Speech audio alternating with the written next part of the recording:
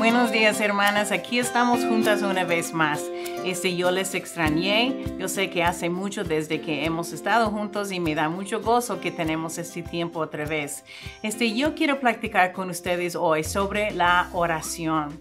Este, hoy más que nunca probablemente necesitamos la oración. Si mires alrededor, este, puedes ver que el mundo parece que está en caos, está fuera de control. Este, durante los años de ministerio, algo que siempre me sorprende es que mucha gente cuando vienen los problemas retiran de Dios. En lugar de acercarnos de Dios, nosotros nos enojamos o algo así, nos retiramos de Él. Y ahora es cuando más lo necesitamos. Necesitamos estar practicando con Dios en la oración. Necesitamos este. Pero lo que pasa es que desanimamos y que ya no estamos orando, no estamos leyendo nuestra Biblia, ya no estamos mirando el servicio por live stream o asistiendo aquí en la iglesia. Pero hoy yo quiero platicar de ustedes sobre la importancia y cómo podemos hacer la oración mucho más eficaz. Pero vamos a empezar con qué es la oración parece que es algo básico. Todos saben que es la oración. Pero honestamente, la oración, cuando yo enseño la clase de los niños, yo les digo que la oración simplemente es practicando con Dios como tú practiques con tus amigos, porque Él es nuestro amigo. Y por eso cuando estamos hablando este, con Dios, practicamos como Él es nuestro amigo. Este, pero si decimos que nosotros le queremos a Dios, pero nunca practicamos con Él, realmente es amor. Si nosotros decimos que lo queremos, pero solamente hablamos cuando tenemos una emergencia o un problema grande, realmente es amor. Mira, hoy yo quiero platicar de ocho claves para tener una vida de oración mucho más poderosa en este año. Este parece que necesitamos más oración que nunca en este año, pero la verdad es que cada día necesitamos oración. En cada año, cada día, todo el tiempo necesitamos estar practicando con Dios. La oración es una arma probablemente la más poderosa que Dios nos ha dado y debemos estar arrodillados en la oración más que nunca. Pero saber cómo orar no siempre es fácil.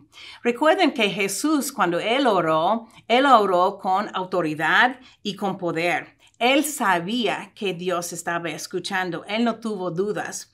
Eh, por eso en Lucas 11.1 los discípulos no le pidieron que le, les enseñara otra oración, sino pidieron, Señor, enséñanos a orar.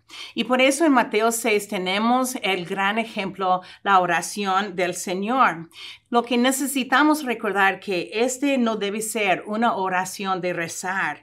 Solamente Él nos dio ejemplo de cómo orar. Y por eso vamos a ver estos ocho claves de cómo podemos ser, ser más eficaces en nuestra oración.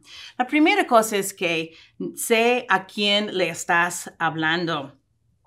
Como yo mencioné antes que la, este, la oración es solamente una conversación con Dios, cada conversación empieza con el nombre y por eso necesitamos saber con quién estamos hablando. Cuando mi marido y yo nos casamos, nosotros tuvimos que decidir qué, este, qué nombre vamos a llamar nuestros suegros. Mis suegros eran fáciles porque me dijeron que no eran mis padres y que yo pudiera llamarles por su nombre. Pero mi suegro, mis padres no eran así. Y durante los, todos los años que yo tuve de matrimonio cuando mis padres vivían, mi marido ni una vez les llamó por nombre. No les dijo, hey, suegro, o hey, uh, hey, usted. Él no dijo nada. Él nada más esperó hasta que estaban mirándolo o él tocó el brazo para ganar su atención. Pero nosotros cuando estamos orando, este podemos llamar el nombre. A veces hablamos con el Padre, el que es todopoderoso, el que este puede este, ayudarnos con este, los problemas. A veces yo quiero platicar con el Señor Jesucristo, mi amigo. Yo quiero hablar con Él para decirle cómo me siento y todo este. A veces yo hablo con el Espíritu Santo porque yo necesito su poder en hacer la tarea que Dios me dio o hacer una cosa en mi vida espiritual. Y por eso cuando, cuando estamos orando necesitamos pensar con quién estamos hablando. Yo siempre digo, este bendito Padre Celestial, pero la verdad es, es que muchas veces no solamente estoy hablando con el Padre, estoy hablando con Jesús y también el Espíritu Santo. El segundo clave es este, dale gracias. Este, como todos los padres, Dios le encanta este, ver que somos agradecidos. Él quiere que tomamos el tiempo para alabarle a Dios por todo lo que Él ha hecho para nosotros. Él quiere escuchar que estamos agradecidos, que le damos gracias. Las oraciones contestadas, las victorias este, en una situación imposible, la salud que Él nos dio. Sabes que cada día recibimos bendiciones de Dios y muy pocas veces nosotros le damos gracias. Este, cuando recibimos lo que queremos, ya no pensamos, ya, ya pasó esta emergencia, ya pasó esta situación y fuera de la mente. Recuerdan la historia de los diez leprosos. Este, los diez leprosos, eh, el Señor Jesucristo les sanó de la lepra y solamente uno regresó para darle gracias. Pero a veces nosotros eh, hacemos este porque pensamos que Dios debe contestar nuestras oraciones. Es su trabajo. Este, pero ¿cómo nos sentimos cuando nuestros hijos piden y piden y piden y que nunca están agradecidos? ¿Cómo se portan cuando es nada? Ella es la mamá, ella debe. El Señor Jesucristo, Dios también, Él se siente lo mismo. Él quiere que nosotros damos gracias, que nosotros estamos agradecidos por lo que recibimos. No es su trabajo. Él lo hace todo porque Él nos ama. La tercera clave es pide la voluntad de Dios. Dios puede ver el plan completo. Recuerden antes que yo les di el ejemplo de un cuadro en que nosotros tenemos nada más un pedacito y nosotros no podemos entender. Pero Dios tiene todo el cuadro. Él sabe exactamente qué viene y por qué viene. Y por eso nosotros necesitamos este, confiar que Él sabe lo mejor para nosotros. Este, pero a veces yo quiero pedir por lo que es bueno para mí este, mis emociones. Yo quiero y estoy orando que Dios dame este. Señor, quiero que, que tú hagas esta cosa. Y sabes que a veces no es su voluntad, no es su plan. Este, muchos de ustedes ya saben que mi suegra tiene Alzheimer's y vive en un asilo en Ohio este, y ya no conoce a nadie. Y por eso para mí es muy difícil saber cómo orar. El año pasado, en diciembre, ella cumplió 80 años y yo dije, ojalá que este es su último cumpleaños. Y muchos pensaron que yo era muy fea, pero honestamente yo dije este en compasión. Este, ella es una cristiana y yo sé que el mejor para ella sería estar en el cielo con su mente sana otra vez. Pero ¿cómo debo orar? Este, es mal decir, Señor, mata a mi suegra, probablemente. Este, pero yo no sabía cómo orar. Y por eso después de, este, de batallar mucho con este hora, simplemente yo le pido a Dios por su voluntad. Ahora, hay veces, voy a ser honesta, que yo no entiendo la voluntad de Dios. Este, a veces en mi mente humana yo pienso que Dios necesita mi ayuda o que Dios está, este, no está escuchando o que Él está equivocado. Pero yo sé mejor que este. Yo necesito nada más este, pedir por su voluntad y podemos confiar que Dios quiere el mejor para nosotros cuando, aun cuando no entendemos. La cuarta clave es este, di lo que necesitas. Este, en la oración del Padre, eh, Jesús dijo, danos nuestro pan diario. Ahora, pan era una de las necesidades básicas de la vida. Jesús no vaciló en eh, pedirlo de Dios. Él sabía que Dios iba a contestar. A veces nos pensamos que no debemos molestar a Dios con cosas tan pequeñas. Este, pero ¿sabes qué? Dios quiere quiere darnos lo que, aunque es pequeño o pensamos, es importante a nosotros y Dios sabe que es importante a nosotros. Y después cuando vienen los problemas grandes, muchas veces nosotros pensamos, pues yo no quiero molestarle, yo puedo arreglar o yo puedo solucionar el problema antes. Sabes que debemos llevar nuestras necesidades a Dios. Si tú piensas que es chico o grande, Dios quiere escuchar. Y por eso este, no, muchas veces no tenemos porque no pedimos pedimos. En Santiago 4.2 dice, no tenéis lo que deseáis porque no pedís. ¿Recuerdas el gozo que tú te sientes cuando tus hijos te piden por una cosa y después cuando tú puedes hacer y cumplir en darles este y tú te sientes más gozo que el niño realmente? Yo pienso que Dios se siente igual. Este, estamos orando por lo que necesitamos en la voluntad de Dios y Dios este, le da este gozo para cumplir con las necesidades y los deseos que nosotros tenemos. Número cinco es pide perdón. Santiago 5:16 dice, confesaos vuestras ofensas unos a otros y orad unos por otros para que seáis sanados. La oración eficaz del justo puede mucho. Hermanas, es casi, es imposible practicar con Dios cuando hay mucho pecado o hay pecado en nuestro corazón.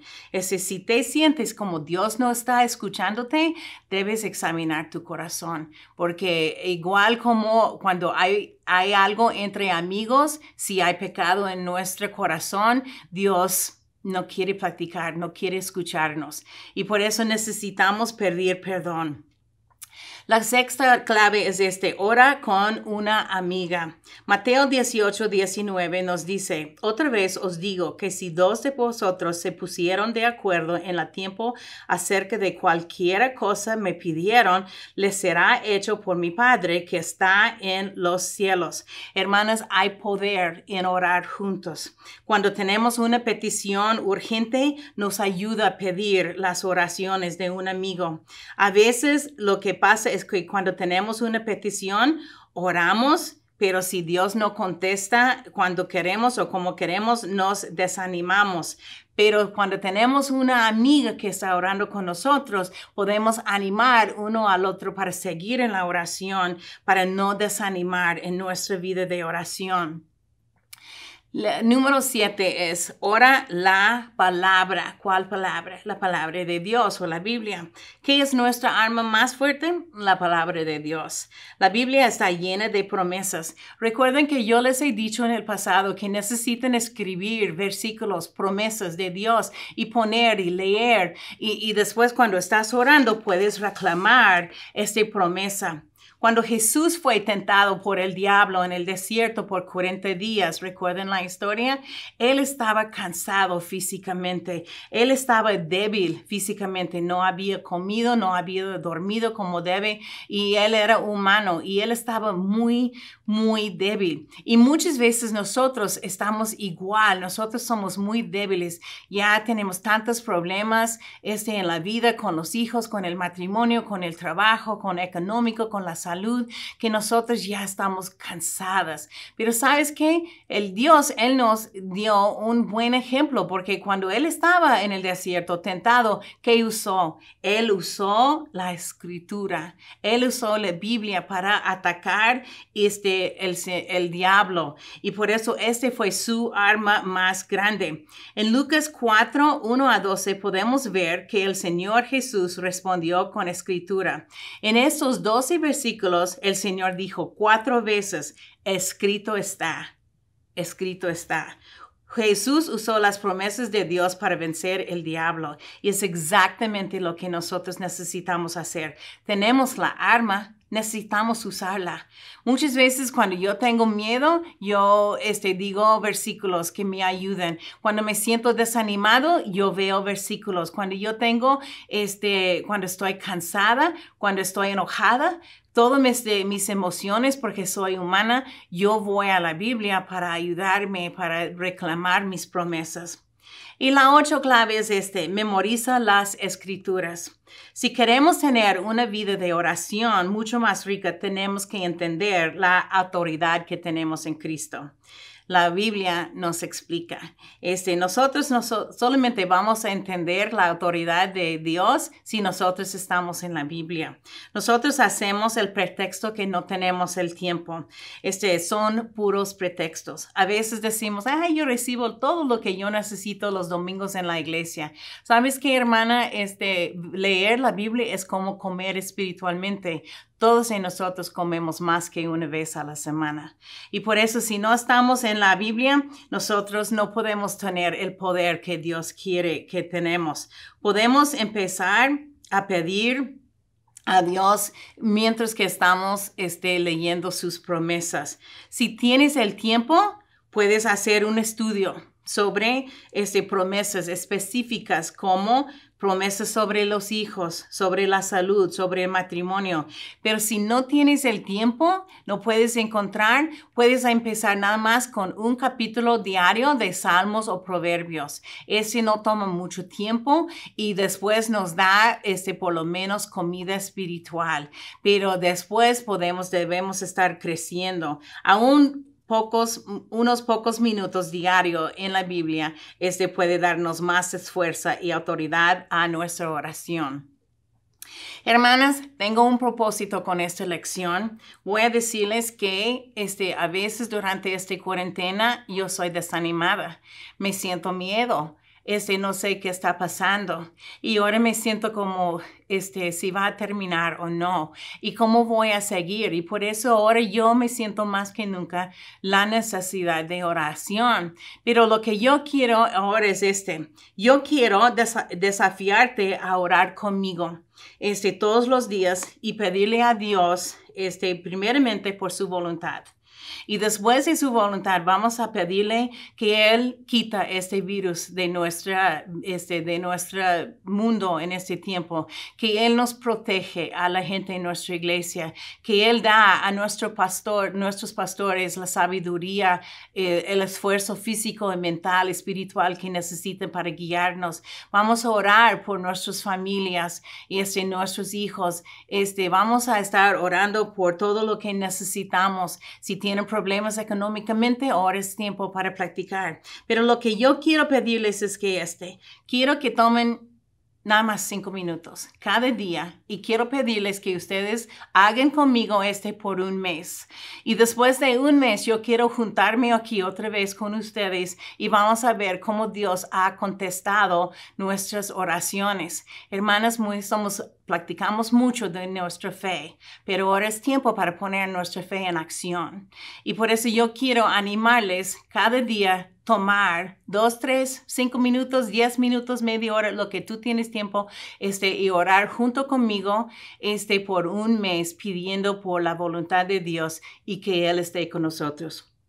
Hermano, muchos de ustedes no saben, pero los domingos en la tarde a las seis y media nosotros tenemos tiempo de oración aquí en el Water Center.